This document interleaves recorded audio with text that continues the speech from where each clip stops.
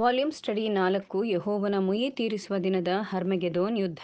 ಅಧ್ಯಾಯ ಆರು, ಮಹಾನ್ಯಾಯಾಲಯದ ಮುಂದೆ ಬ್ಯಾಬಿಲೋನ್, ಆಕೆಯ ಗೊಂದಲ, ಕ್ರೈಸ್ತ ಧಾರ್ಮಿಕತೆ, ಪುಟ ನೂರ ಐವತ್ತು. ನಾನು ವೈಯಕ್ತಿಕವಾಗಿ ಪೌರಾತ್ಯದ ಧಾರ್ಮಿಕ ಯುವಕರನ್ನು ಪ್ರತಿನಿಧಿಸುತ್ತೇನೆ, ಆದರೆ ಹೊಸ ಧರ್ಮದ ಯುವಕರಿಗೆ ನಾನು ಬದಲಿ ಪ್ರಾತಿನಿಧ್ಯದ ಮೂಲಕ ಎಲ್ಲ ಧರ್ಮಗಳ ಮತಪ್ರಚಾರಕರೊಂದಿಗೆ ನಿಮ್ಮ ಮುಂದೆ ಮಾತನಾಡುತ್ತೇನೆ. ನಾವು ಈಗಾಗಲೇ ಹೊಂದಿರುವುದನ್ನು ನಮಗೆ ತರಲು ನೀವು ಧರ್ಮದ ಹೆಸರಿನಲ್ಲಿ ನಮ್ಮ ಬಳಿಗೆ ಬರುತ್ತೀರಿ. ನೀವು ಹೇಳುವಂತೆ ಒಬ್ಬ ಪರಿಪೂರ್ಣ ದೇವರು ಅವನನ್ನು ಸೃಷ್ಟಿಸಿದ್ದರೆ ಮಾನವನು ತನಗೆ ತಾನೇ ಪೂರ್ಣನಾಗುತ್ತಾನೆಂದು ನಾವು ನಂಬುತ್ತೇವೆ. ನೀವು ಅವನನ್ನು ಏಕಾಂಗಿಯಾಗಿ ಬಿಟ್ಟರೆ ಅವನು ಹೇಗಿರಬೇಕೋ ಹಾಗಿರುತ್ತಾನೆ ಅಷ್ಟೇ.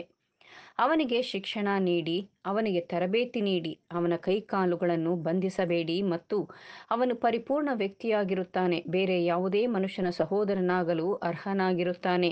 ಪ್ರಕೃತಿಯು ಮಾನವನಿಗೆ ಸಾಕಷ್ಟು ದಯಪಾಲಿಸಿದೆ ಮತ್ತು ನೀವು ನಿಮಗೆ ಹೆಚ್ಚಿನದ್ದನ್ನು ನೀಡುವಂತೆ ದೇವರನ್ನು ಪೀಡಿಸುವ ಮೊದಲು ನಿಮ್ಮ ಬುದ್ಧಿವಂತಿಕೆಯಲ್ಲಿ ನಿಮಗೆ ನೀಡಲಾದ ಎಲ್ಲವನ್ನೂ ನೀವು ಬಳಸಬೇಕು. ಇದಲ್ಲದೆ ಯಾರೂ ದೇವರನ್ನು ಕಂಡುಕೊಂಡಿಲ್ಲ.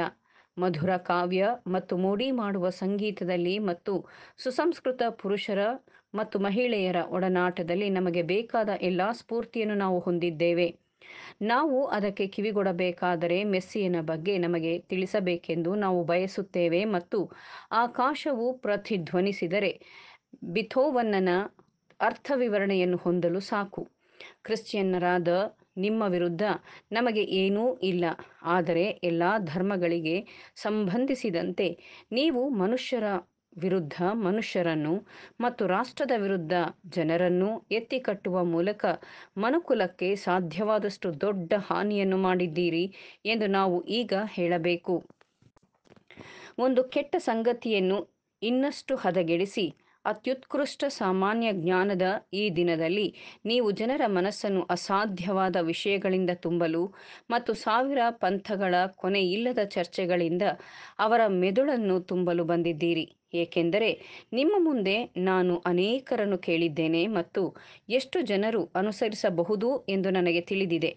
ನಿಮ್ಮ ತತ್ವಶಾಸ್ತ್ರ ಮತ್ತು ನಿಮ್ಮ ಸಿದ್ಧಾಂತಗಳು ಭೂಮಿಯ ಮೇಲೆ ನಿರಾಶಾವಾದವನ್ನು ಬೆಳೆಸುತ್ತಿರುವುದರಿಂದ ಎಲ್ಲ ಮನುಷ್ಯರಲ್ಲಿ ನಿಮ್ಮನ್ನು ದೂರವಿಡಬೇಕಾಗಿದೆ ಎಂದು ನಾವು ಪರಿಗಣಿಸುತ್ತೇವೆ. ಹಾಗಾದರೆ ಎಲ್ಲ ಪೌರಾತ್ಯರು ಹೊಂದಿರುವ ಧಾರ್ಮಿಕ ಪ್ರವೃತ್ತಿ ಮತ್ತು ಸಹಜ ಗೌರವದೊಂದಿಗೆ ನಾನು ಇದಕ್ಕಿದ್ದಂತೆ ಹೇಳಬೇಕಾಗಿದೆ.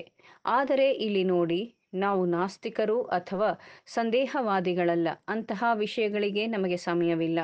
ನಾವು ಅತ್ಯುನ್ನತ ಜೀವನಕ್ಕಾಗಿ ಸ್ಫೂರ್ತಿಯಿಂದ ತುಂಬಿದ್ದೇವೆ ಮತ್ತು ವಿಶ್ವದ ಎಲ್ಲ ಯುವಕರಿಗೆ ಸ್ವತಂತ್ರವನ್ನು ಬಯಸುತ್ತೇವೆ. ಎಲ್ಲ ದೇಶಗಳ ಎಲ್ಲ ಮಾನವರನ್ನು ಒಂದುಗೂಡಿಸುವ ಮತ್ತು ಭೂಮಿಯನ್ನು ಸಂತೋಷದಿಂದ ತುಂಬುವ ಒಂದು ಧರ್ಮವನ್ನು ನಾವು ಹೊಂದಿದ್ದೇವೆ.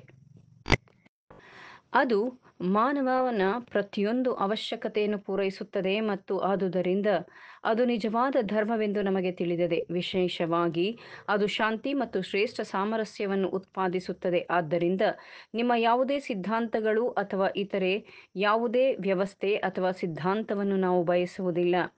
ನಾವು ಭೌತವಾದಿಗಳು ಸಮಾಜವಾದಿಗಳು, ವಿಚಾರವಾದಿಗಳು ಅಥವಾ ನಿರಾಶಾವಾದಿಗಳಲ್ಲ ಮತ್ತು ನಾವು ಆದರ್ಶವಾದಿಗಳೂ ಅಲ್ಲ. ನಮ್ಮ ಧರ್ಮವು ಮೊದಲನೆಯದಾಗಿತ್ತು ಮತ್ತು ಅದು ಹೊಸದರಲ್ಲಿ ಅತ್ಯಂತ ಹೊಸದಾಗಿದೆ. ನಾವು ಸಜ್ಜನರು, ಶಾಂತಿ ಮತ್ತು ಮಾನವೀಯತೆಯ ಹೆಸರಿನಲ್ಲಿ ನೀವು ನಮ್ಮನ್ನು ಏಕಾಂಗಿಯಾಗಿ ಬಿಡಲು ಸಾಧ್ಯವಿಲ್ಲವೇ? ನೀವು ಧರ್ಮದ ಹೆಸರಿನಲ್ಲಿ ಮತ್ತೆ ನಮ್ಮನ್ನು ಆಹ್ವಾನಿಸಿದರೆ ನಾವು ಮುಂಚಿತವಾಗಿ ನಿಶ್ಚಿತಾರ್ಥ ಮಾಡಿಕೊಳ್ಳುತ್ತೇವೆ ಮತ್ತು ನೀವು ಮತ್ತೆ ಉಪದೇಶಿಸಲು ಕರೆದರೆ ನಾವು ಮನೆಯಲ್ಲಿರುವುದಿಲ್ಲ. ಇದು ಹಸಿರು ಕೊಲ್ಲಿ ಮರದಂತೆ ಪೌರಾತ್ಯ ಯುವಕ ಮತ್ತು ಎಲ್ಲಿ ಒಬ್ಬನು ಮರಣ ಹೊಂದಿದ್ದಾನೋ, ಅಲ್ಲಿ ಅವನ ಸ್ಥಾನದಲ್ಲಿ ಅವನನ್ನು ನೀವು ಕಂಡುಹಿಡಿಯುವುದಿಲ್ಲ. ಆ ಆತಂಕವನ್ನು ತುಂಬಲು ಇಪ್ಪತ್ತು ಜನರಿದ್ದಾರೆ. ನನ್ನನ್ನು ನಂಬಿ ನಾನು ಉತ್ಪ್ರೇಕ್ಷೆ ಮಾಡುತ್ತಿಲ್ಲ.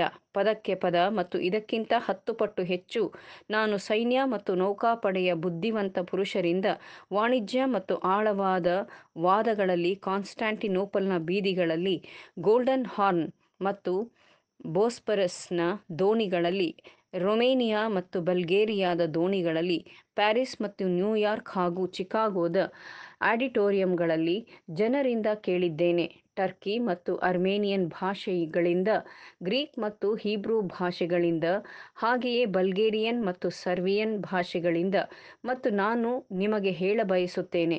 ಯುರೋಪ್ ಮತ್ತು ಪೌರಾತ್ಯ ದೇಶಗಳ ಮೂಲಕ ವಾಣಿಜ್ಯ ಮತ್ತು ಸಾಹಿತ್ಯ ವಿಜ್ಞಾನ ಮತ್ತು ಕಾನೂನಿನ ದ್ವಾರಗಳನ್ನು ಇಟ್ಟುಕೊಳ್ಳುವುದು ಪೂರ್ವದ ರಾಷ್ಟ್ರಗಳ ಹಣೆಬರಹವನ್ನು ರೂಪಿಸುವಲ್ಲಿ ಅತ್ಯಂತ ಪ್ರಬಲ ಶಕ್ತಿಯಾಗಿದೆ ಮತ್ತು ಧರ್ಮದ ಭವಿಷ್ಯದ ಬಗ್ಗೆ ಯೋಚಿಸುವಲ್ಲಿ ಬುದ್ಧಿವಂತಿಕೆಯಿಂದ ಲೆಕ್ಕ ಹಾಕಬೇಕಾಗಿದೆ. ಪೌರಾತ್ಯದ ಯುವಕರ ದೃಷ್ಟಿಯಲ್ಲಿ ಎಷ್ಟು ಪ್ರಬಲವಾದ ವಾದವನ್ನು ಎದುರಿಸಬೇಕೋ ಅಷ್ಟು ವಾದವನ್ನು ಎದುರಿಸಬೇಕಾಗುತ್ತದೆ.